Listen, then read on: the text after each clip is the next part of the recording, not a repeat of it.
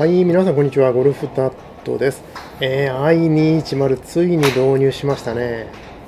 えっ、ー、と、まあ、近所のハードオフでですね、えっ、ー、と、まあ、まさかの掘り出し物を見つけまして、えー、購入してしまいました。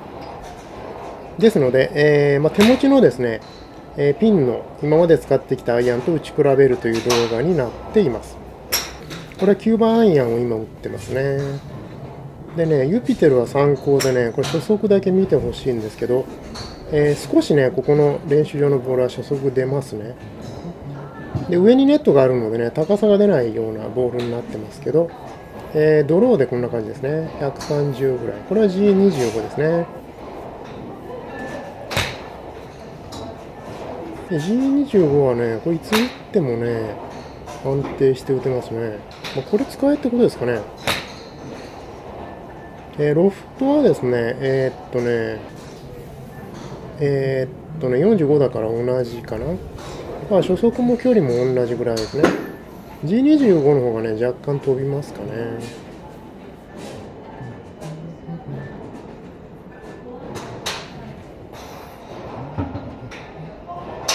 あ、これアイブレードですね。で、アイブレード。アイブレードね、あのね、この G シリーズの後に打つとですね、もう必ず一発目引っ掛けますね。必ず一発目引っ掛けるんで、次がね、きちっと調整できて、えー、ナイスショットですね。もう毎回こうなりますね。ハイブレードはね、若干初速が出ないかな。あとね、高さがちょっと出ないのが悲しいところですね。まあ、この辺がまあパワーと技術が足りないかなという。はい、えーと、425はですね、まあ、ちょっとこれが打ちこなせなくて、変えようかなと思ってるわけなんですけど、これ4年使ったんですけどね、未だに打ちこなせないですね。これは OB ですね、これなんかね。あ、これやってまっすぐ行ってますね。でまあ、これシャフトが950のネオなんで、でうまく打つとですね、こう初速も距離も高さも出るんですけど、えー、なかなかですね、コントロールできないと。はい、これは6番ですね。210はですね、えーとまあ、組み込みのコンボセットって言いますか、長い番手がね、えー、ちょっと大きいんですね。なので、えー、まあ、コンボにしなくてもですね、まあ、最初からコンボという感じでですね、ああ、これもいい感じで打ってますね。なんかね、最初からですね、あの昔からの知り合いっていう感じでですね、え、全く違和感なく打てますね。6番なんで、このままもうちょっと飛んでほしいんですけどね。はい、えー、っと、25。これはね、常にね、うまく打てますね。うん、やっぱこれ使えってことですかね。うん、これはナイスドローですね。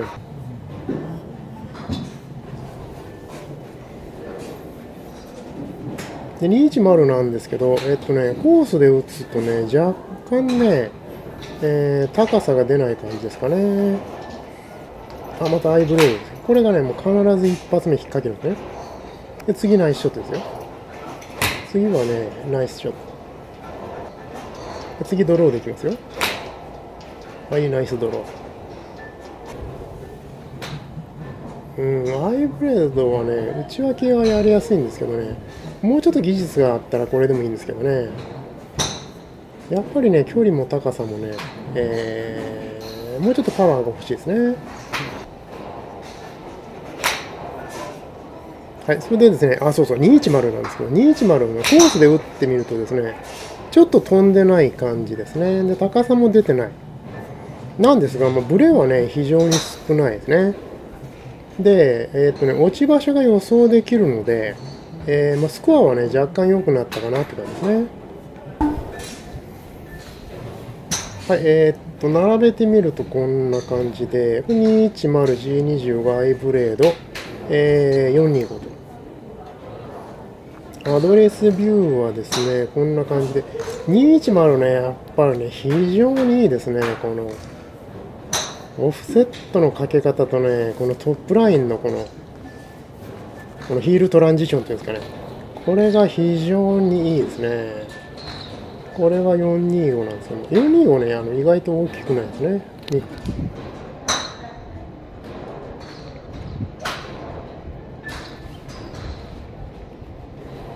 はい、こんな感じでね、ソールの幅も意外とあって、キャビティもね、えー、結構深いですね。なので、まあ、あらゆる意味でですね、中間ですね、210。